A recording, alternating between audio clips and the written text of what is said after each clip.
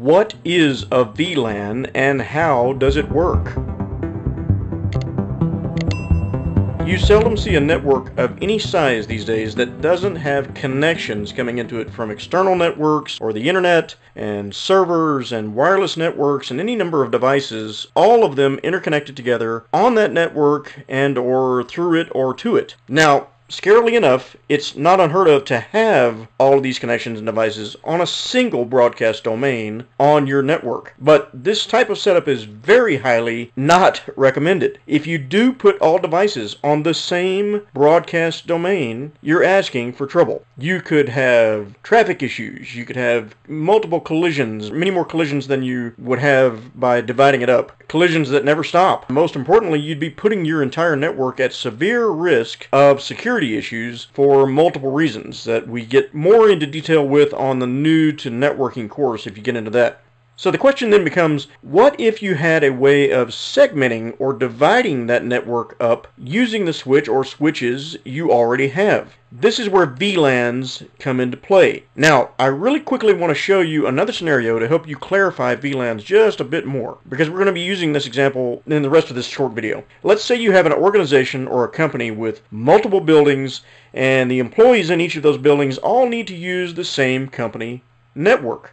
Now, I'm going to show you two of those buildings right here. But pretend these are two of many buildings in this company, or many locations. In this building, here on the right, you have research and development or a research and development group and they have their lab and their records and in this building on the left you have HR and you have management primarily this is primarily where these groups are located. Now, a more realistic scenario like this is you have servers and storage for everyone in the company all in one big data center or, or cool room somewhere else, maybe in another building, where the technicians and the administrators can easily access most all of it and maintain it the way they need to and make sure everything is operating correctly. But for the purposes of this example, we're going to only look at these two buildings and these three groups. Now, if your groups are all separate, you can have a switch for each group in each building and then connect them all, all the switches together with a router and put them on the same network theoretically that's feasible in maybe a smaller group or smaller organization, smaller company. But what if you need to have one person from the management group, say, working in the same building as the research and development group? That might be a need in your company or organization. Since it's just one person, if you didn't have a way to divide their traffic up from everybody else's traffic and everybody was in the same broadcast domain on the network, you'd have to string another network cable from the router here over to the building on the right and put another switch there just for that one person to connect on their own segmented portion of the network. So what if you had someone from HR working in the building on the right? Maybe, you know, would you need to install a switch with another connection back to the router for each person in each group or each subnet or segment of the network just to keep them separate, that can get expensive. It can get tedious and it can start requiring more and more space and equipment every time you put someone from another LAN segment in the same building or the same location. And we don't want someone from research and development having access to the same network resources as, say, the HR person or the management person, so we can't connect them all on the same switch that the research and development group uses, right?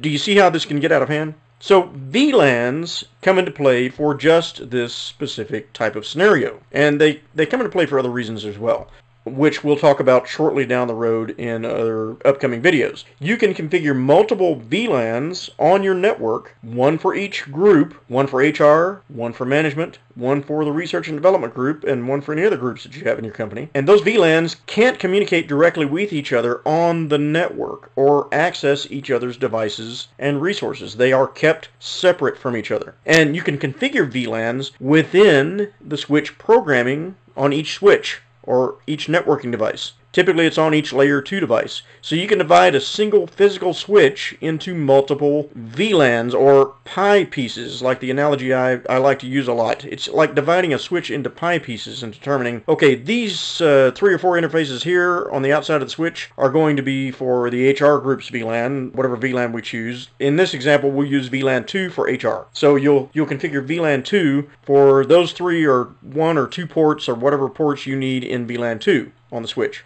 So anybody connecting to those ports with their computer or device is going to be assumed to be in VLAN 2. Same for the other groups. Let's say you're using VLAN 3 for your management group in your company. Anybody in the management group will be connected on VLAN 3. So you can divide a switch up into kind of like pie pieces, depending on how you want to do it as the administrator, to determine which ports belong in which VLAN or which network devices connected to that switch belong in which VLAN. This allows you to only use that single switch, a single physical network switch in the same building without having to go out and get another switch or buy another switch or component every time you need another connection or another LAN segment for a different group or a different person in a different group. Every time you have a new person from a different group in the same building or location, you don't need to go buy another switch and then run a cable from it all the way to the next router in line on your network to allow them to have special connectivity on their special segment of the network. VLANs allow you to divide that up inside a single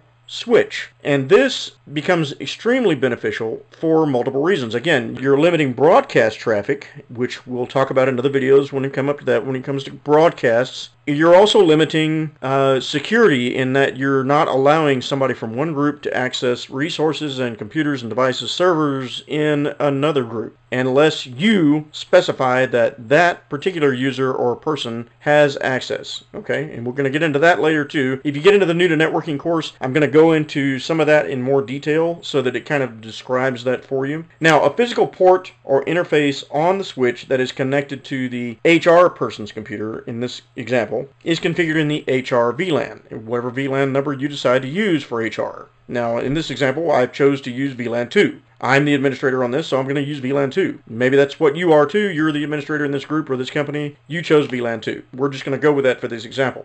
The physical port or the interface on the same switch that is connected to the management person's computer is configured in the management VLAN, VLAN 2. And all other ports are configured in the research and development VLAN. And that's until you move in the HR person. When you move in the HR person, you got to take VLAN 3 and configure their port on this switch on the building on the right into VLAN 3 so that they can have connectivity to the HR group's local area network or virtual local area network. That's what you're doing at VLANs. Now, they're all kept separate, but they can all still use the same physical switch without having to have a separate switch for each group in the same building. Broadcasts in each VLAN are not seen or dealt with by computers and devices in the other VLANs. By doing so, you have prevented all devices and resources in the same company from all being on the same segment with more traffic and collisions and everyone having access to everything. Not good, highly frowned upon. Okay, we'll just leave it at that. And, and you, as you get more into studying networking, you will completely understand this. Believe me, it may, it may not make sense to you now, but as we go along, it will. Now, you are controlling the traffic, the collisions, the access within each group simply by using separate VLANs for each group. I get into more detail in my new to networking course on this, but each VLAN will be assigned a number, and if you're a visual learner, kind of like I am, 60% of us out here are visual learners, so if you're a visual learner, just to give you a better visual to kind of understand VLANs a little bit better. Think of each VLAN not as a number, although that's how you program them and configure them. You configure them as numbers, VLAN numbers, on your network. But don't think of them as numbers, rather think of them as each VLAN as a different color. So you might have a blue VLAN in this example, you might have a green VLAN, you might have a red VLAN, a yellow VLAN, that type of thing. Even if they're not actually using colors, that's the easiest way to keep track of VLANs with a, a visual that you visual learners out here can actually understand. So if the HR VLAN is, say, uh, the blue VLAN, let's say VLAN 2 is going to be the blue VLAN, just for visual reference. You can see here how the HR person in the building on the right can utilize the same network segment, the same virtual LAN or VLAN, to connect to everyone else and all the network resources in the HR group. Now, the same for the other groups. Again, each one has its own separate VLAN. Now, for the purpose of keeping each of these videos as simple as possible, helping you pass the Network Plus certification exam, which is really why we're ultimately here, to get you started right, and hopefully the CCNA and, and maybe even the CCNP as we go along, there are many other facets of VLANs that I can show you and that I want to show you, but for now, I just want to add on trunks, because in this example, we are going to need what is called a trunk connection set up on each of these switches that will pass the traffic from those multiple VLANs across to each other. I want to talk just for a second about that connection between the switches in these two buildings or the network devices in these two buildings. The term used to describe a multiple VLAN connect, uh, configured connection like this is trunk. And it is similar to, say, putting multiple vines together to make a bigger trunk in nature. You can also think of it as putting multiple fiber optic wires together, which is also known as a trunk. Or steel cables. When you put multiple smaller steel cables together, you make a bigger, heavier duty cable. That's a, known as a trunk when you're dealing with construction. Multiple VLANs traversing the same network connection, typically between two switches or layer 2 devices, is called a trunk. What is a VLAN and how does it work? Well, now you know the basics. Be sure to look for upcoming videos where I go more in depth into VLANs and show you dynamic VLANs as well as VTP, which is stands for Virtual Trunking Protocol.